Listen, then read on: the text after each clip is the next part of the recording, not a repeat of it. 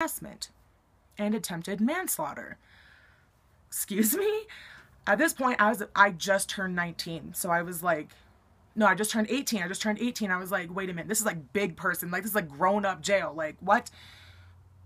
And all I've had on my record before was like loitering, like stupid things like that, jaywalking, and all of a sudden now I'm being slapped with attempted murder, felony, stalking, and harassment. So I was like shaking in my fucking boots. I was so scared, and um Anyway, I Lee went to jail for the same thing too, by the way. Anyway, long story short about that, I ended up posting bail. I ended up getting out. So did Lee. Um, this is the kicker here. When we were in jail, Mary was still receiving these messages from us um, while we were incarcerated. So the CBI, which is the Colorado Bureau of Investigation, um, got involved and they completely seized her laptop and her desktop at her house and at her mom's house. Um, we didn't, Lee and I didn't have a laptop or anything like that. Uh, we actually had to go to the public library to go get on the MySpace and to do all those fun things. So, um, and you had uh, in public libraries, I don't know anymore, but in public libraries, when you get on the computer, you generally have like a little log to sign on to like what number of computer you're on, how long you're going to be on it, things like that. Um, she was driving up here from the city up to Perrigo using the library and saying that we, you know, signing our names in, and that's how she was writing these messages when they seized her laptop and her cell phone and they like thoroughly investigated it, they were like, there's no way that could have happened because these two girls were in jail. So there's no way that can happen. And the whole time, you know, Mary's like, oh, these girls are trying to kill me. And oh my God, what am I going to do? Like, I'm so afraid for my life. And she was like hamming this up, you guys. Like, she was like telling them, I'm afraid for my life. I'm afraid to walk out the front door. I'm afraid to go to work. I'm afraid to go finish high school. And I'm just like, oh my God, I live two hours away from you. What? What? Oh, hell no. Okay, come to find out, Lee one night came clean to me and told me the reason why she's doing this, and I really hate to say it now, the reason why she's not taking this as well as you would think is because I technically cheated on her with you. So this girl Lee, when she told me her and Mary were breaking up, she didn't break up with Mary right away. She was dating me all the way. She was dating Mary whilst dating me all the way up until I turned 18. So from March when Lee and I got together all the way until June so that's three months. Um, they were still dating. Um, so she told me this, you know, of course, six, like six, seven months into our relationship. And being the dumb young adult teenager I was, I'm like, it's okay. Because um, I loved the girl. So I'm like, it's okay, you know, like we'll work through it. She's obviously clearly fucking insane. So we'll just go ahead and work through this.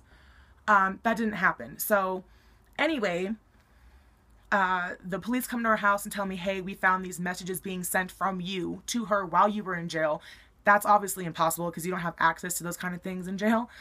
Um, so they actually ended up arresting her for felony stalking, felony harassment, um, attempted manslaughter, impersonation, defamation, um, and other things along those lines. So what we were going to be charged with, she was being charged with now. Um, so all of my charges got dropped. All of Lee's charges mostly got dropped, except for the previous stuff when we were already living in the city before we moved up to Perrigo. Um, and she, it was just a huge mess. Now it's 2010 at this point. It's January of 2010, and uh, Lee has a son, and she was like, "We'll just call him, we'll just call him Eli."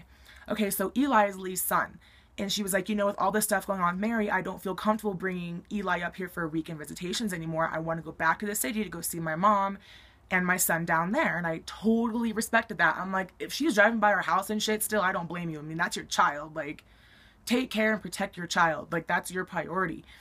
So I was okay with it. One night, um, this is almost a year after all this started, Lee came home and she had a huge hickey, like right here like, it was about that big. It was about this big. And I was like, what is that? Um, and she was like, I don't know. And at that point, I was kind of like, something's not adding up right here. Something's not right. So I let this kind of continue to see how long she would continue to lie to me until I just had enough and kicked her out. Um, I had no idea what I was about to find out though. Um, Mary emails me. She's like, I know it's illegal for me to email you and contact you, but I want you to know Lee and I have been seeing each other.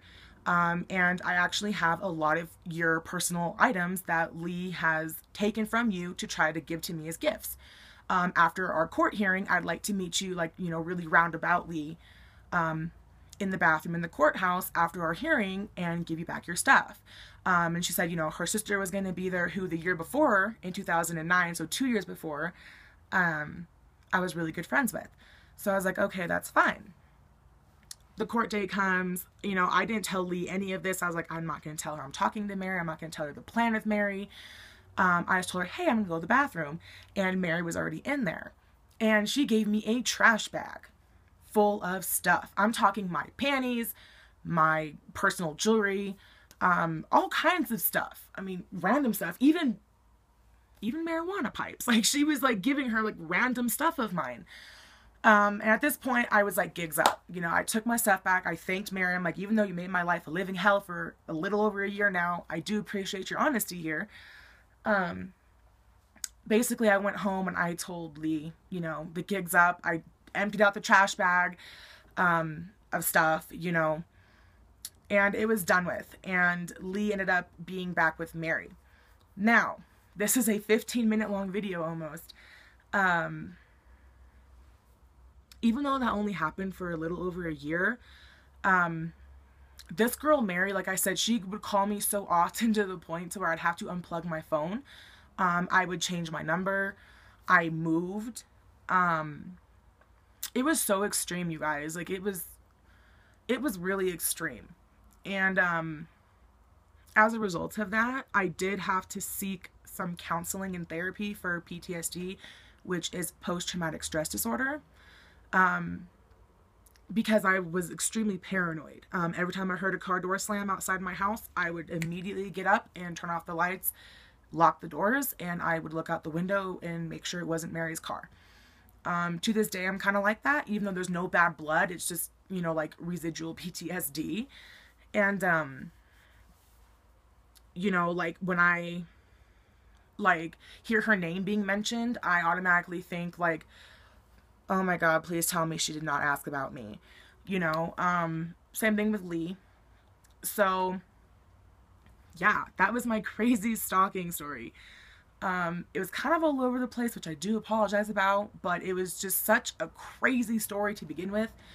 Um, it didn't happen, like I said, when I say, oh, it happened for a little over a year, it doesn't really seem like that long. It was one of those situations, you guys, where it was like so surreal and so crazy that I was like, it was almost in fast forward and slow motion in, in once. You know what I'm saying? Like it was, it happened so fast, but it felt like it took forever for it to kind of come to a head. You know, it felt like it took forever. And that's really, really weird. It's a really crazy situation to be in. Um, but anyway, uh, the ending of the story, I guess, is like I said, this did happen six, seven years ago. Um, they are both not together anymore. In fact, Lee is married and she has a family with her wife and her children. Um, Mary's in a relationship with somebody else, and I'm obviously with Jesse, and we have a child, and none of us talk anymore, and um, it's just it's it's great. Um, there was a permanent restraining order um, put in place between Mary and I, just because um, when I was in therapy and seeking counseling, my uh, therapist said, you know, I do recommend having a permanent restraining order put in place just in case anything happens or just in case anything else arises ever again, um, she'll automatically be thrown in jail no matter what if she contacts you. Um, and for those of you that don't know, restraining orders are released in the state of Colorado. Um, say I have a restraining order against Mary, um, that doesn't mean I can contact Mary. That means we can't contact each other. If I am caught trying to contact her, I will go to jail as well. Um, if she's caught trying to contact me, she will go to jail. Um, that's just how restraining orders work in my state. I don't know how they work in your state. So anyway, yeah, I hope this was an interesting video. It's almost 18 minutes long as of now. So yeah, give this video a thumbs up if you want to see more storytime videos, if this was exciting. Um, and comment below what you guys thought about this story and what you thought about, you know, any kind of stalking situation, whether it's somebody you know personally or it's happened to you or you know somebody. I don't know. Um, anyway, I will see you guys on Friday. Now, speaking of the vlog channel and posting and stuff, um, I'm really going to try to get some content together for the vlog channel, which I will link down below in the description bar.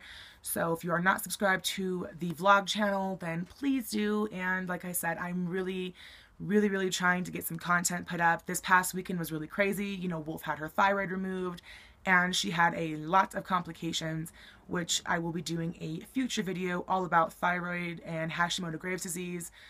Um,